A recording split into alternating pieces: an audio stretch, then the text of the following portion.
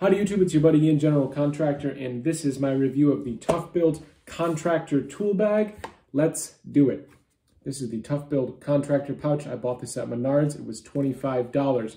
The reason I bought the Contractor Bag is because it's bigger than the other bags that I have, and it's gonna hold all of the basic hand tools I use for remodeling.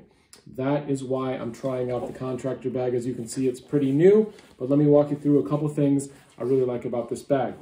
Okay, so if you don't know already, the thing with the gimmick with the ToughBuilt tool bags is this thing called clip tech technology, which is just this right here. This is the clip, and it clips onto the tool bag, but it also obviously clips onto your belt. So I will show you that right now. It's very straightforward. Move the bag over here. So you can use this on any belt. Here it is, open. I'm going to attach it to my belt right now. There, it is now on my belt. Now I take this over, and I snap it locked. So now it's snapped and it's locked. I will now put the bag on my belt and you can see what that looks like. You heard that clip. The bag is now clipped to my belt. There it is right there with all the tools in it. I will say that it's probably pretty heavy if you have a bag just on one side. You might want to balance it out. But the cool thing about these bags is you just take it off, push this button, comes right off, and now you have this cool stand and you can just stand the bag on your work surface. I find this really convenient and really helpful because you can just stand the bag like this. And then if you're over here, you can just reach and grab all your tools. Very, very convenient. I don't know of another tool bag system that has that feature with this cool stand right there like that. If you like that, this might be a bag worth checking out. Let's talk about the rest of it. The reason I wanted to try out this bag is because it holds all of the tools I would probably need for basic remodeling type of projects uh, taking things apart, putting things back together, kitchens, bathrooms.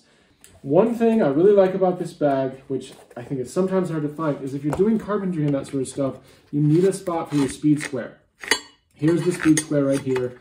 Um, this is what a speed square looks like if you don't know.